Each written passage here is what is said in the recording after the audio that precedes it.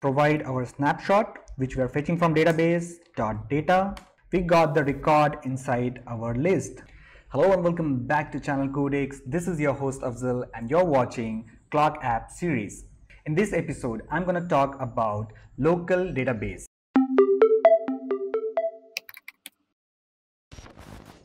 Welcome back once again in yet another episode of Clock App series. This time we are talking about local database. So let me tell you that there are different ways we can store user data in mobile application. If you have fairly small amount of data, like say for example username or some preferences of the application, whether uh, the terms and condition is accepted or not, whether the application is launching first time or not, those kind of stuff, you can directly save inside shared preference. Shared preference is inbuilt inside each platform so you can access that with the help of package and write your data. If you have number of records to be stored, a big data, then you can use SQLite or any other database available for mobile platform. But SQLite is most preferred and if you have even bigger data like say for example pdf file or image or some profile something you want to store you can directly access file system for that so depending on the need of your application you have to choose one of those three type of storage in mobile application and you're good to go so without wasting much time let's begin with today's tutorial so here we are inside Visual Studio Code. First thing first, we need a package to work with database. And for that, I'm going to use SQFlite 1.3.1. So I'm just going to copy this statement from here and paste inside our pubspec YAML which I already did and restart the application so that all the dependency has been loaded properly. So our package is in place. Now what we need to do is set up the database. So I have divided this tutorial in two parts. In first half, I'll be talking about the basic setup, how you can create the database, how you can initialize the schema, table and all those stuff. And in second part, we will do CRUD operation, like we will do insert, update, delete on the same table. So let's begin by creating a class, a helper class. I will say alarm helper dot dot and this class will be responsible for all the operation initialization everything. So alarm helper. So we need singleton instance of the database. So i'm going to say database. And this will come from sqlite api and let me name it database. So the singleton implementation will go something like this. If the database is null it's going to initialize it. If it's already there it's going to return it to you. Now comes the important part where we have to initialize the database which means you are setting up the connection you are opening the connection and creating table all those stuff. So let's define a method. I'm going to say future of database. So this method will give us database finally. And let's name it initialize database just like this one. Okay. Now this is fine let's make this method async so that we can use await keyword inside. And now let's create a database. So first thing we need is a directory to work with and that will come from get database path. This is already there in the package which provides you the path where database can be stored. And then I'm going to define the complete path which will go something like this. So you just have to specify the name of your database along with the directory and this is the place where we will open the database connection. So let's write open database provide it with path and few other properties we will also provide like version what is the database version and what happens once database gets created. Cool. So now this database is there. I'm just going to capture inside a variable database is equal to oh, await open database. Just let's check the data type. It's correct. And return database. So anytime user is going to initialize this database it will give this instance. And because it's a singleton it will have only one instance at a time. So this is fairly simple. Now what we have to do once the database gets created we have to create the table where we are going to store the data. So using this db I'm just going to say sorry db dot execute and we will provide the SQL statement over here. So let's define all the column name, table name which we want because we don't want to change each time to this query. We will have this named over here. So I'm going to say final string table name is equal to alarm like that and similarly I will add all the columns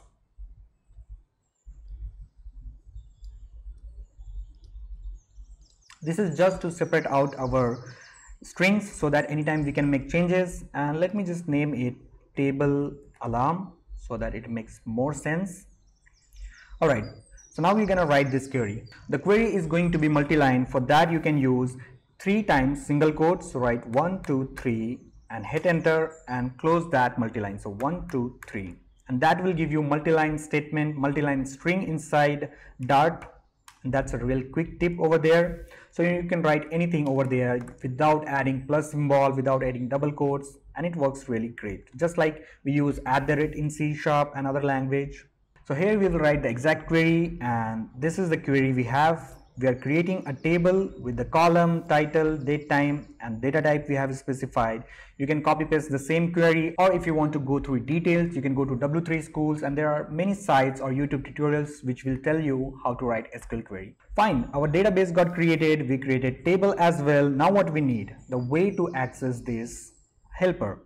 So let's create and let's also make this static so that it has only one instance and we also need alarm helper outside the class. So I'm going to create a singleton for alarm helper as well. This is a simple method which is checking for the null value and same same thing like if it's null then create an instance otherwise return the same. And now let's write some operation to perform. So what we want with this database is a way to write insert, update, delete and all those queries. So I will say void insert alarm okay? And that will accept alarm info. So our method accepting the alarm info now using the database I'll say db is equal to this dot database. This is referring to this database if you can see it over here. And now I will say db dot insert.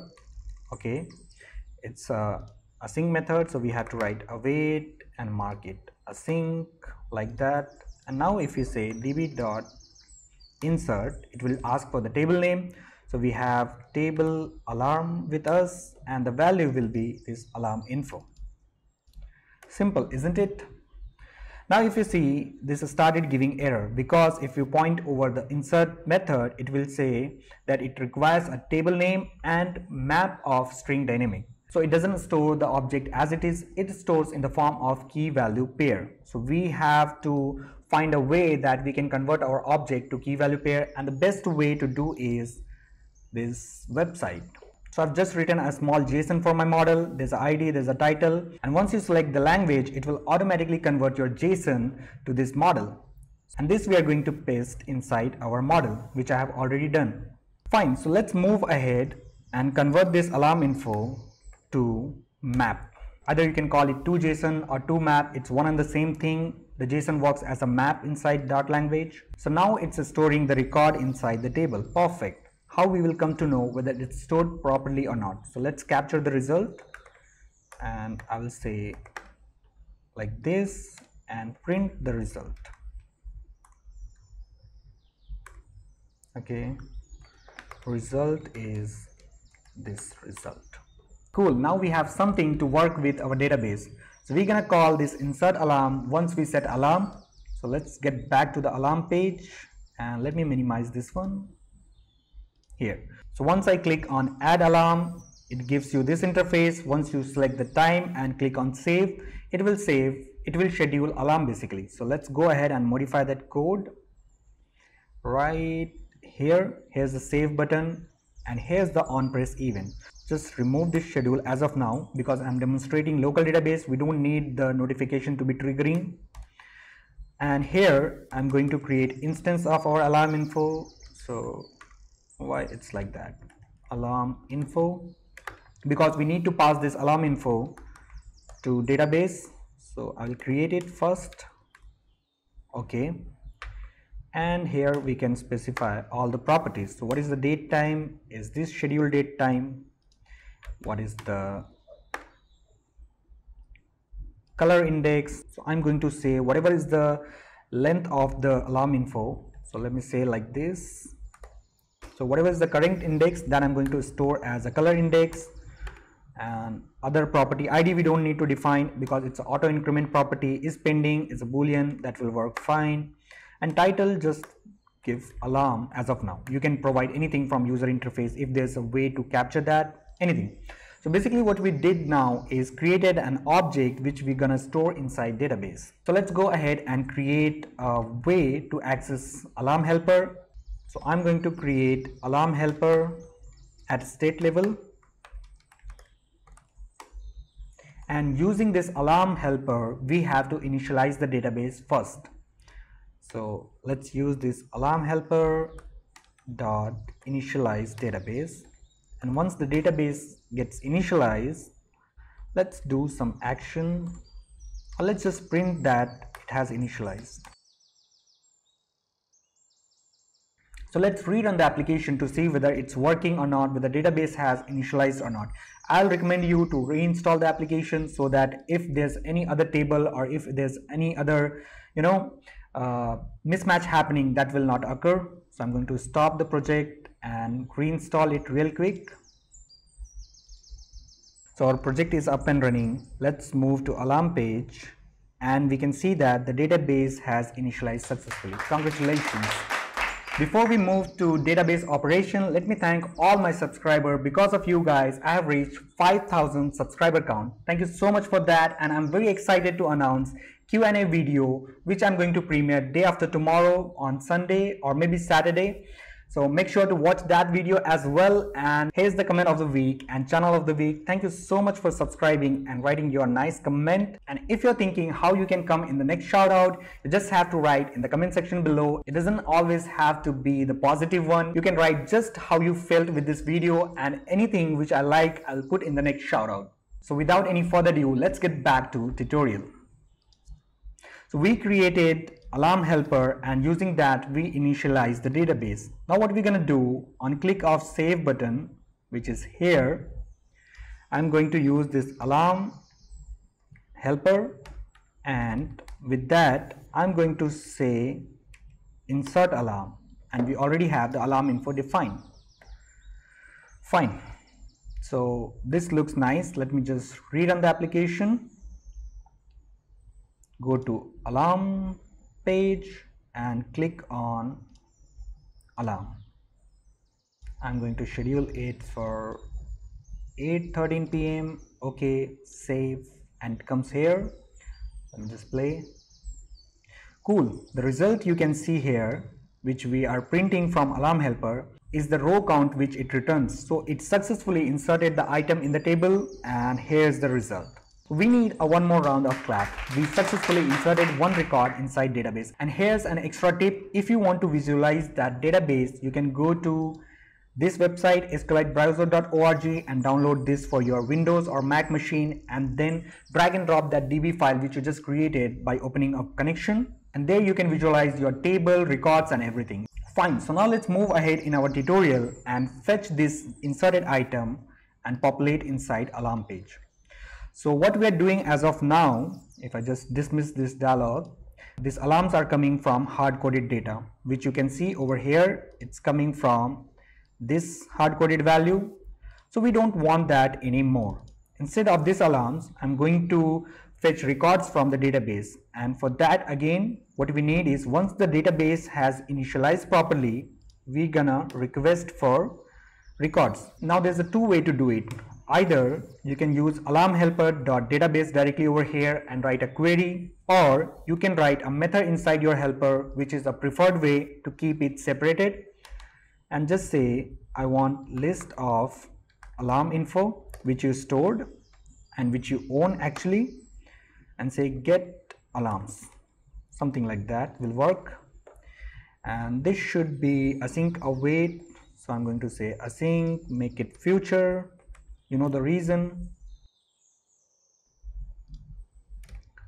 All right. And how we access this? First we need a db connection and it's going to give the same db remember it's not creating instance again and again. And to fetch the result what we're going to say? Result is equal to await db dot query. And on what table we're going to query? Table alarm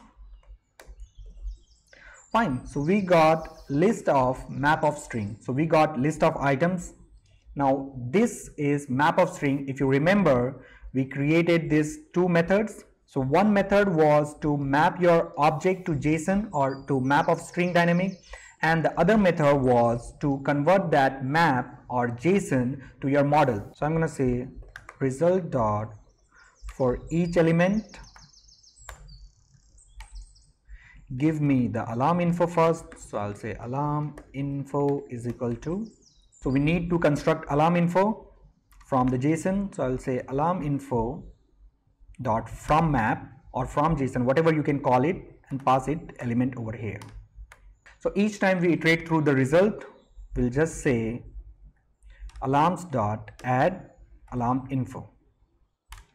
Cool so by this point we got all the alarms stored in the database. We'll just return it return the alarms and we are done with the fetch operation. It was that simple. So let's get back to alarm page and use alarm helper to get the alarms.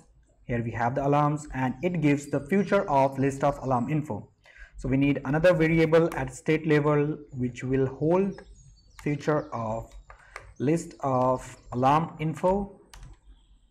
And this we can name as alarms over here. Something missing? Yes one angular bracket.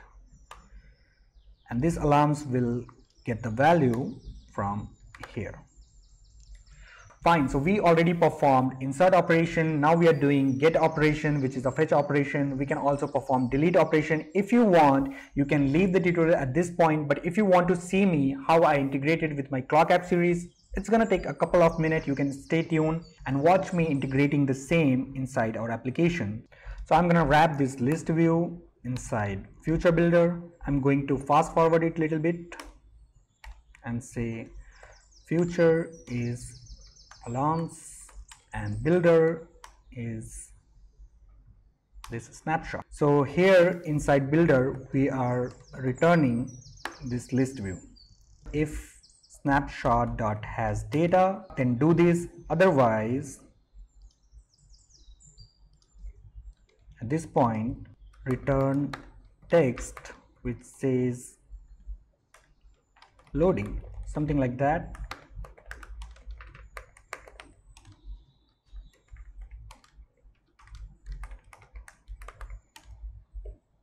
let me rerun the application. And now when I move to alarm page we got this loading label over here. So first thing first let's make it center. Like that. And when I go to alarm page again the loading is over here. So now this list view is no more mapped with alarms. We have to change that binding and provide our snapshot which we are fetching from database dot data and see we got the record inside our list. So this is the alarm which we set. It was at 813 perfectly fine. So record started working. We just need a little bit of thing. Instead of getting this record over here what I'll do I'll create a method. Okay let's rerun once again. Go to alarm and here you have your record from DB let's do one more operation real quick. I'm going to go to helper and write one more method which is for delete. So let's just copy it real quick. And here you can find all the examples. So I'm just going to copy this and paste inside here. And I will say this DB you know the drill. We have to first get the instance of DB and we'll say table alarm where column ID is this ID alright and now if I restart we got this page. Let's go to alarm page and click on delete. I think it happened. So let's just reload and see whether the record is there or not. If I go to alarm record is not there. So it deleted successfully. I hope you people enjoyed the video. Write down in the comment section below what you felt about the video. And make sure to visit the Google Forms link which is there in the description. There you can provide your survey feedback. Basically I have asked five simple question over there in the nice multiple choice question format. You can provide that. And that will be helpful for my Q&A video. Make sure to hit the like button, subscribe the channel if you haven't already. And I will see you guys in the next one. Thank you so much for watching.